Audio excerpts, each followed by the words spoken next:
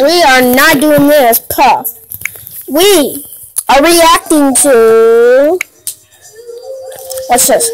So we are gonna be reacting to something that I have never watched before, and that is.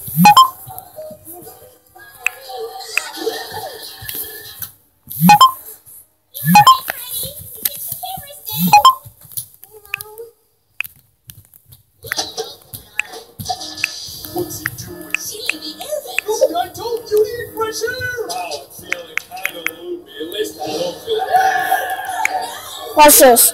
So guys, uh, I'm not watching any Five Nights at Freddy's videos. I'm more, Oh, 30. Let's watch this.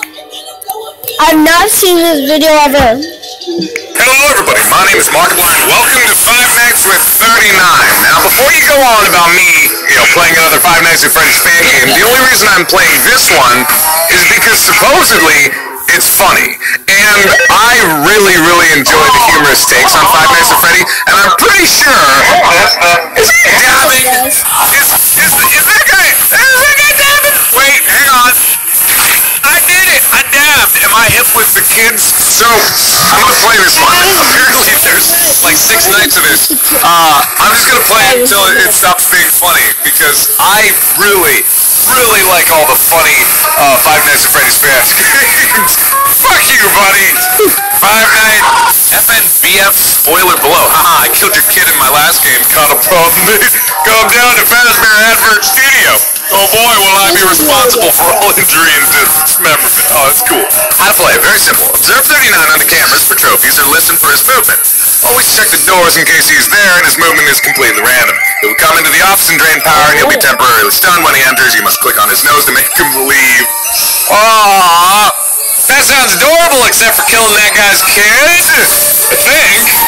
I have no idea how this is gonna go. I've I've never even heard of uh, the games from this developer. Apparently, he's made some other ones, but I honestly did not think you would turn up. Well, welcome to the Advert Studio. I don't know why it's here. I don't know why I'm a f***ing animatronic character.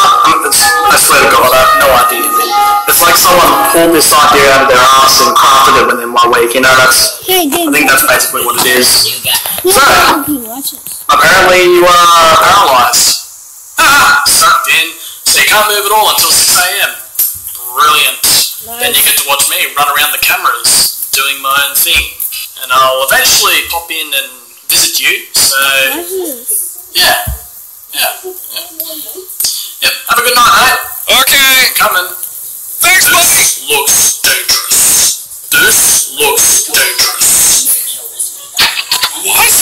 I can't see anything on here. Everything is just flashing lights. This. Oh.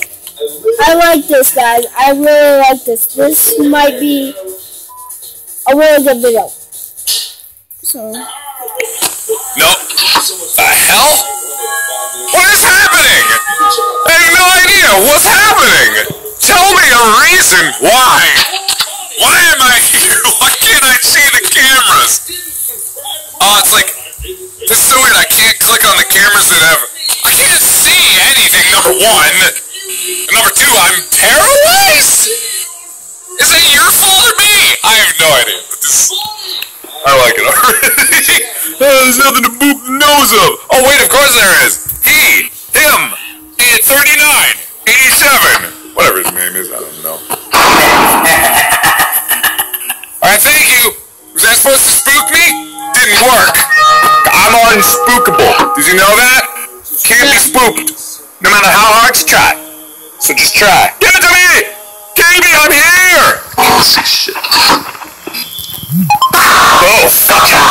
Damn it. Wookie wookie woo!